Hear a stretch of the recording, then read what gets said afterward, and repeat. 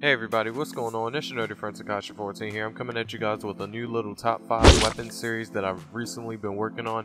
Now these top 5 weapon videos are gonna consist of weapons that are fairly easy to obtain, won't hardly cost a lot of speed to upgrade, and best of all these weapons will be able able of handling high level content without much problem. So without further delay, let's get into the weapon list. So basically how this video is going to work is I'm going to give a general overview of the weapon itself followed by the weapon's mob drop location, damage test, upgraded forms, and material locations and just basically showing you guys some good cheap weapons that you won't have to spend 20 plus mil for.